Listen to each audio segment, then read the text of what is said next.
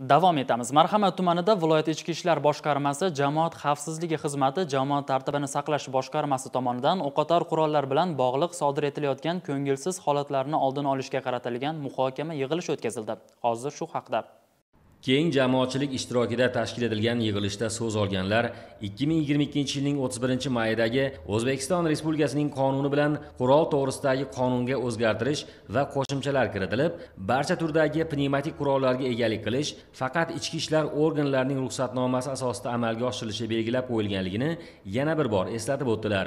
Biroq shunga qaramay bugungi kunda ayrim shaxslarning hanuzgacha ixtiyorda bo'lgan pnevmatik qurollarni o'z vaqtida ichki ishlar organlariga topshirmaganliklari oqibatida noxush holatlar sodir etilayotganligi afsus bilan tilga olindi.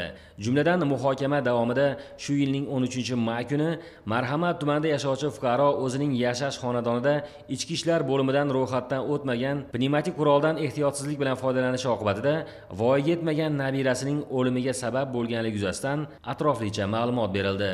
Uchrashuv davomida ro'yxatdan o'tmagan o'qotar qurollarga ega shaxslar ularni o'z ixtiyori bilan ichki ishlar xodimlariga taqdim etishi zarurligi shunda qonun bo'yicha jinoiy va ma'muriy javobgarlikdan ozod qilinishi noqonuniy saqlaydiganlar esa aksincha javobgarlikka tortilish haqida ogohlantirib o'tildilar.